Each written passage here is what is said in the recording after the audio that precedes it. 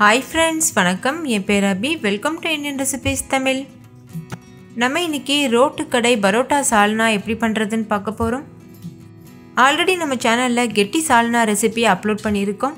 இது வந்து நல்ல தண்ணியாக இருக்கும். பரோட்டாலலாம் ஊற்றி சாப்பிட்றதுக்கு ரொம்பவே சுவையாக இருக்கும். அப்படியே நம்ம ரோட்டு கடைகளில் கிடைக்கிறது போல் டேஸ்ட்டும் இருக்கும். இது செய்கிறதும் ரொம்ப ஈஸி இது பரோட்டாக்கு மட்டும் இல்லை இட்லி தோசை சப்பாத்தி அதுக்கப்புறம் ரைஸ் கூட வச்சு சாப்பிட்றதுக்கு கூட ரொம்பவே டேஸ்ட்டாக இருக்கும். இப்போ வாங்க வீடியோக்குள்ளே போயிட்டு இந்த ரெசிபி எப்படி பண்ணுறதுன்னு பார்க்கலாம். வீடியோக்குள்ளே போகிறதுக்கு முன்னாடி நம்ம சேனல் இந்தியன் ரெசிபிஸ் தமிழை சப்ஸ்கிரைப் பண்ணிக்கோங்க. கூட இருக்க பெல் சிம்பிளையும் கிளிக் பண்ணிக்கோங்க. ஃபஸ்ட்டு இந்த ரெசிபி பண்ணுறதுக்கு ஒரு மிக்ஸி ஜார் எடுத்துக்கோங்க. அதில் ஒரு கைப்பிடி அளவு தேங்காய் சில் வந்து சேர்த்துக்கோங்க. கூடவே ஒரு சின்ன துண்டு இஞ்சியும் சேர்த்துக்கோங்க.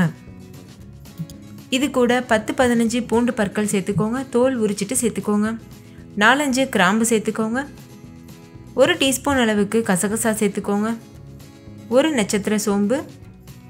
உங்ககிட்ட கல்பாசி இருந்ததுன்னா நீங்கள் அது கூட சேர்த்துக்கிறலாம் இது கூட ஒரு டேபிள் ஸ்பூன் அளவுக்கு பொட்டுக்கடலை ஒரு டீஸ்பூன் சோம்பு ஒரு டீஸ்பூன் சீரகம்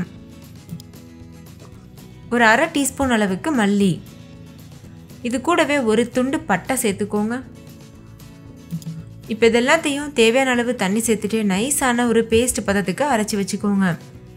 இப்போ நம்மளுடைய மசாலா பேஸ்ட் வந்து தயாராகிருச்சு இது ஒரு உரமாக இருக்கட்டும். இப்போ ஒரு குக்கர் சூடுபடுத்திக்கோங்க. அதில் ஒரு டேபிள் ஸ்பூன் எண்ணெய் சேர்த்துக்கோங்க. ஒரு டீஸ்பூன் நெய்யும் சேர்த்துட்டு ரெண்டும் சூடானதுக்கப்புறமா ஒரு நட்சத்திர சோம்பு நாலஞ்சு கிராம்பு ஒரு பட்டை ஒரு பிரிஞ்சி இலை. இதெல்லாம் சேர்த்துட்டு நல்லா பொரிய வச்சுக்கோங்க. இது கூடவே ஒரு பெரிய சைஸ் வெங்காயத்தை பொடியாக அரிஞ்சிட்டு சேர்த்துக்கோங்க. நம்ம பிரியாணிக்கெலாம் கட் பண்ணுவோம்ல நீல் வாக்கில் அந்த மாதிரி கட் பண்ணி சேர்த்துட்டு தேவையான அளவு உப்பும் சேர்த்துட்டு இது நல்லா வதக்கிக்கோங்க. இந்த ஸ்டேஜில் நீங்கள் வெஜிடபிள் ஏதாவது உங்களுக்கு விருப்பமானது கூட ஆட் பண்ணிக்கலாம். நம்ம இன்றைக்கி பிளெயின் சால்னா தான் செய்ய போகிறோம் எம்டி சால்னா இப்போ வெங்காயம் ஓரளவுக்கு நல்லாவே வதங்கிருச்சு. இந்த ஸ்டேஜில் ஒரு ரெண்டு மீடியம் சைஸ் தக்காளியை இது போல் கட் பண்ணிவிட்டு சேர்த்துக்கோங்க. இதையும் நல்லா வதக்கிக்கோங்க. தக்காளியை நீங்கள் கட் பண்ணிட்டும் சேர்த்துக்கிறலாம். அப்படி இல்லைனா மிக்சி ஜாரில் போட்டு நைஸாக அரைச்சிட்டு பேஸ்ட் மாதிரி பண்ணிவிட்டு கூட சேர்த்துக்கலாம். தக்காளியை பேஸ்ட் பண்ணி சேர்த்திங்கன்னா சால்னா கொஞ்சம் கெட்டியாக கிடைக்கும். இப்போ இதை நல்லா வறுத்துக்கோங்க. தக்காளி ஓரளவு வதங்கினதுக்கப்புறமா ஒன்றரை டீஸ்பூன் அளவு மிளகாத்தூள் சேர்த்துக்கோங்க. நான் காஷ்மீரி மிளகாத்தூள் சேர்த்துருக்கேன். கூடவே ஒன்றரை டீஸ்பூன் அளவுக்கு மல்லித்தூள் சேர்த்துக்கோங்க. கூடவே கால் டீஸ்பூன் அளவு மஞ்சள் தூள் சேர்த்துக்கோங்க. இந்த ஸ்டேஜில் உங்களுக்கு தேவைப்பட்டதுன்னா உப்பு சேர்த்துக்கிறலாம். கடைசியாக ஒரு அரை டீஸ்பூன் அளவு கரம் மசாலா தூள் சேர்த்துட்டு இது நல்லா கலந்துக்கோங்க.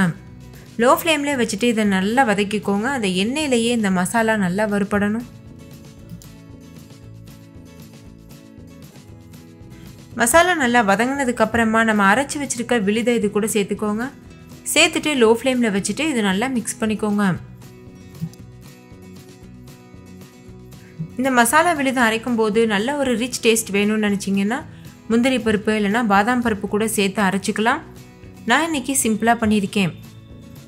இப்போ இது நல்லா கலந்ததுக்கப்புறமா தேவையான அளவு தண்ணி சேர்த்துக்கோங்க. நான் மிக்ஸி ஜாரில் தண்ணி சேர்த்துட்டு அந்த தண்ணியை சேர்த்துருக்கேன். அதனால் வெள்ளை கலரில் இருக்குது இது நல்ல தண்ணியான சால்னா அப்படின்றதுனால தண்ணி வந்து நம்மளுக்கு நிறையாவே தேவைப்படும். சேர்த்ததுக்கப்புறமா இது நல்லா கலந்துட்டு கடைசியாக கொஞ்சம் போல் புதினா கொத்தமல்லி சேர்த்துக்கோங்க. நான் வந்து புதினா கொத்தமல்லி காய வச்சு சேர்த்துருக்கேன். நீங்கள் ஃப்ரெஷ்ஷானது கூட சேர்க்கலாம். புதினா கொத்தமல்லி சேர்க்குறதுனால நல்ல மணமாக இருக்கும். இப்போ இன்னும் கொஞ்சம் தண்ணி சேர்த்துருக்கேன். உங்களுடைய கன்சிஸ்டன்சிக்கு பொறுத்தது நீங்கள் தண்ணி சேர்த்துக்கலாம். சேர்த்துட்டு இது போல் நல்லா கலந்துக்கோங்க. கலந்ததுக்கு அப்புறமா குக்கர் மூடி வச்சு மூடிட்டு ஹை ஃப்ளேமில் வச்சு ஒரு மூணு விசில் வரது வரைக்கும் வெயிட் பண்ணுங்கள் மூணு விசில் வந்ததுக்கப்புறமா ஸ்டவ் ஆஃப் பண்ணிடுங்க ப்ரெஷர் வந்து தானாக ரிலீஸ் ஆகட்டும். அதுக்கப்புறமா நம்ம விசில் எடுத்துகிட்டு குக்கரை ஓப்பன் பண்ணலாம். இப்போ மூணு விசில் வந்துருச்சு ப்ரெஷரும் தானாக ரிலீஸ் ஆயிடுச்சு நம்மளுடைய அந்த சால்னா பாருங்கள் நல்ல கம கமனு கலர்ஃபுல்லாக சூப்பராக தயாராகிருக்கு இது நான் இன்றைக்கி பரோட்டா கூட வச்சு சர்வ் பண்ண போகிறேன் கோதுமை மாவு பரோட்டா. ஏற்கனவே நம்ம சேனலில் மைதா மாவு பரோட்டா அப்லோட் பண்ணியிருக்கோம்ல அந்த ரெசிபி நீங்கள் மிஸ் பண்ணியிருந்தீங்கன்னா வீடியோக்கு கீழே இருக்க டிஸ்கிரிப்ஷன் பாக்ஸில் லிங்க் தரேன். வேணும்னா செக் பண்ணி பாருங்கள் கூடவே நம்ம சேனலில் ஏற்கனவே அப்லோட் பண்ணியிருக்க கெட்டி சால்னாவும் ட்ரை பண்ணி பாருங்கள் அதுவும் ரொம்பவே டேஸ்ட்டாக இருக்கும். ஸோ அவ்வளோதான் ஃப்ரெண்ட்ஸ் இந்த சால்னா ரெசிபியை நீங்கள் கண்டிப்பாக ட்ரை பண்ணி பாருங்கள் ட்ரை பண்ணிவிட்டு உங்கள் எக்ஸ்பீரியன்ஸ் எப்படி இருந்ததுன்னு கமெண்ட்லேயும் கூட ஷேர் பண்ண மறந்துடாதீங்க. இந்த வீடியோ உங்கள் எல்லாருக்கும் ரொம்ப பிடிச்சிருக்கும்னு நம்புறேன். பிடிச்சிருந்தா லைக் பண்ணுங்கள் உங்கள் ஃப்ரெண்ட்ஸ் கூட நிறைய நிறைய ஷேர் பண்ணுங்கள் ஸோ அவங்களும் பார்த்து பயன்பெறட்டும். இன்னொரு சூப்பரான ரெசிபியோட நான் உங்களும் சந்திக்கிறேன். அதுக்கு முன்னாடி நம்ம சேனல் இந்தியன் ரெசிபிஸ் தமிழை சப்ஸ்கிரைப் பண்ணிக்கோங்க. கூடவே இருக்க பெல் சிம்பிளையும் கிளிக் பண்ணிக்கோங்க. Thank you bye